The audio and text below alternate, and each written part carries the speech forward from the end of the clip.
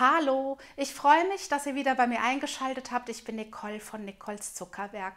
Mein heutiges Video ist mit Unterstützung von Somat und ich habe heute nicht nur ein super leckeres Rezept für euch, ich habe nämlich eine lecker fruchtige Brombeertart mit zartem Mürbeteig und weißer Schokolade für euch. Ich zeige euch am Ende nämlich auch einen Einblick in mein Küchenchaos nach einem Back- und Drehtag und ich garantiere euch, auch bei mir sieht die Küche nicht so aufgeräumt aus, sondern sie sieht aus, als hätte die Bombe eingeschlagen. Also bleibt auf jeden Fall bis zum Ende dran. Es rentiert sich auch bis zum Ende dran zu bleiben, denn es gibt nämlich auch ein Gewinnspiel, zu dem ich euch aber am Ende etwas mehr verrate. Wir starten jetzt los. Ich zeige euch die Zutaten für den Mürbeteig und anschließend auch die Zubereitung. Wir benötigen 220 Gramm Mehl, 100 Gramm Zucker, eine Prise Salz, ein Teelöffel Vanillearoma. Alternativ könnt ihr auch ein Päckchen Vanillezucker verwenden. Außerdem brauchen wir 125 Gramm kalte und in Würfel geschnittene Butter, 60 Gramm Mandeln, gemahlene Mandeln, ein Ei der Größe M und etwas Abrieb einer Orange, so ungefähr einen Teelöffel. Für den Mürbeteig werden einfach alle Zutaten in eine Rührschüssel gegeben und miteinander verknetet.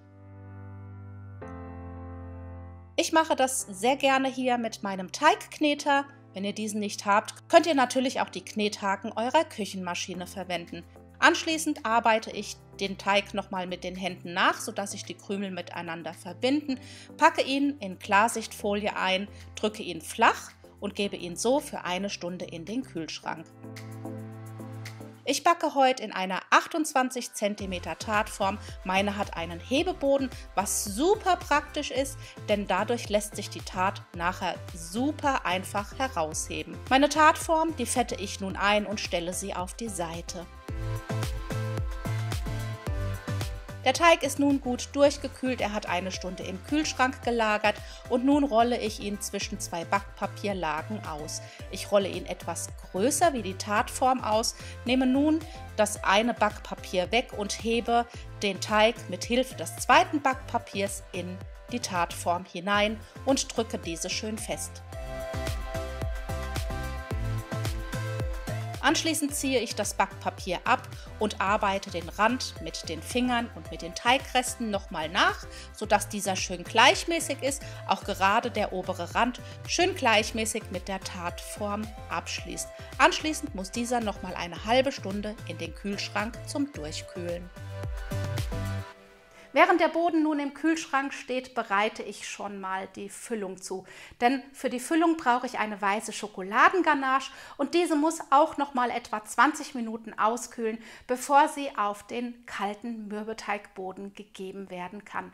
Ich zeige euch jetzt die Zutaten für die leckere Füllung und anschließend natürlich auch die Zubereitung.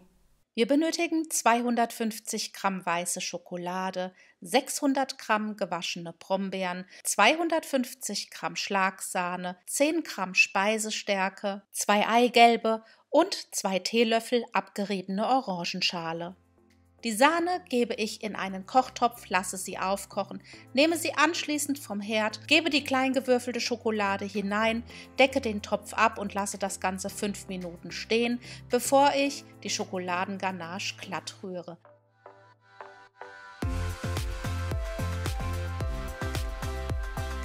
Anschließend gebe ich den Orangenschalenabrieb dazu, rühre die Speisestärke sowie die Eigelbe zügig ein und lasse die Ganache 20 Minuten auskühlen.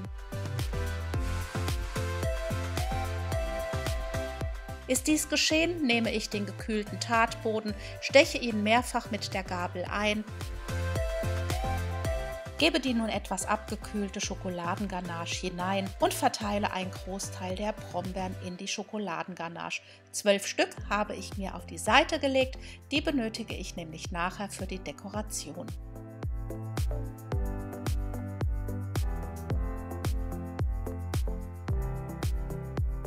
Anschließend kommt die Tat in den vorgeheizten Backofen bei 180 Grad Ober-Unterhitze für etwa 40 bis 45 Minuten.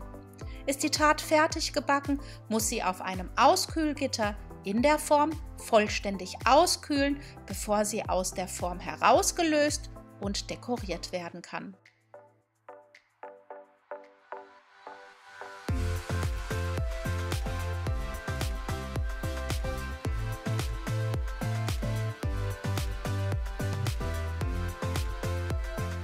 Bei der Deko könnt ihr ganz variabel sein und sie so dekorieren, wie ihr das gerne möchtet. Ich habe mich für die 12 zurückgehaltenen Brombeeren, 125 Gramm Schlagsahne und ein Sahnesteifmittel entschieden.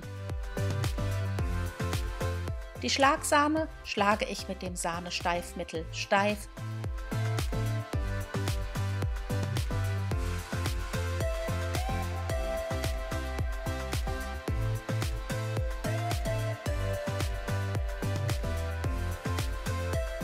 gebe diese anschließend in einen Spritzbeutel mit einer Sterntülle und dekoriere die Oberfläche der leckeren Brombeertat mit zwölf Sahnetupfen sowie den zwölf zurückgehaltenen Brombeeren.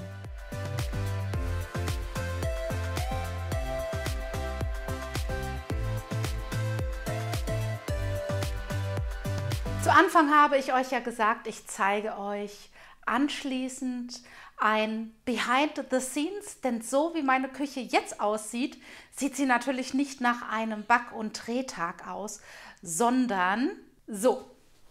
Alles steht rum, nichts ist weggeräumt, wartet jetzt, bis ich es wegräume und das mache ich jetzt ganz schnell, bevor ich mit meiner Familie meine leckere Brombeertat aufnasche. Something about the way you move makes me wanna feel your groove. Damit das Chaos bei mir nicht ganz so ausartet, achte ich schon von Anfang an drauf, dass meine Spülmaschine leer ist, sodass ich im Nachhinein wirklich alles direkt einräumen kann und nicht erst auf die Spülmaschine warten muss, weil vielleicht noch andere Sachen drin sind. Meine Spülmaschine ist in meiner Küche mein absolutes Heiligtum, weil ich sie halt auch sehr oft benutze und deswegen pflege ich sie auch und super funktioniert das hier mit den Maschinenpflegern, die man einfach mit in den Spülgang hineingibt. Bist du so lieb und nimmst den Müll? Ja, klar. Dann nehme ich nämlich die leckere Tat, die wir uns jetzt bei einem Tässchen Kaffee schmecken lassen. for days, don't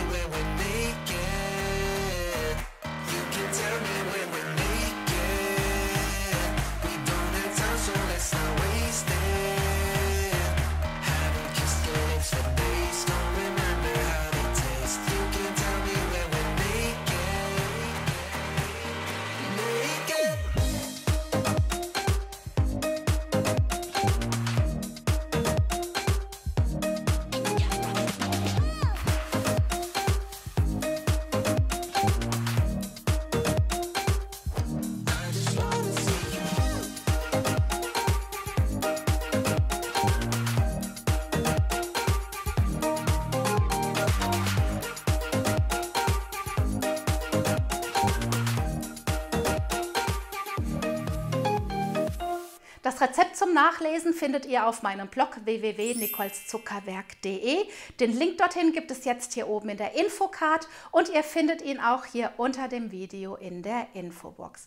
Das Gewinnspiel möchte ich euch natürlich nicht länger vorenthalten. Ich möchte gerne folgende Frage beantwortet haben. Und zwar möchte ich gerne wissen, warum du so gerne mit mir und deinem Lieblingsmenschen etwas Leckeres kochen und gemeinsam genießen möchtest. Schreib mir deine Antwort in die Kommentare unter dieses Video und dann bist du automatisch mit im Lostopf. Das Gewinnspiel startet ab sofort und geht bis einschließlich 30. Juli 2018, 24 Uhr. Der Gewinner oder die Gewinnerin wird im Anschluss von mir gezogen und benachrichtigt. Zu dem Gewinnspiel findet ihr alle Teilnahmebedingungen hier unter dem Video in der Infobox. Was gibt es zu gewinnen? Das möchtet ihr natürlich auch wissen und das will ich euch natürlich auch nicht weiter vorenthalten. Ihr gewinnt eine zweitägige Reise nach Hamburg mit einer Begleitperson eurer Wahl. In diesem Preis ist enthalten die An- und Abreise sowie eine Übernachtung in einem Vier-Sterne-Hotel inklusive Frühstück und die Teilnahme an einem Cleaning and Cooking Challenge Event, an dem du mit deiner Begleitperson teilnimmst. Außerdem sind an dieser Challenge mit dabei sieben weitere YouTuber mit deren Gewinner sowie ich. Wir treten an diesem Tag gegen das Team Pril an. Wir gehören nämlich zu dem Team Somat. Das Datum für diese für dieses Challenge-Event steht übrigens auch schon fest. Auch dieses findet ihr in den Teilnahmebedingungen. Ich drücke euch jetzt allen ganz, ganz feste die Daumen. Kommentiert fleißig. Ich bin mal gespannt, was ihr zu antworten habt. Und dann sehen wir uns hoffentlich ganz bald zu unserem Cleaning and Cooking Challenge Event in Hamburg. Ich freue mich riesig, einen von euch mit Begleitperson dort zu treffen. Ich wünsche euch nun noch einen wunderschönen Tag, einen tollen Start in die neue Woche und dann sehen wir uns ganz bald in einem neuen Video. Macht's gut. Tschüss.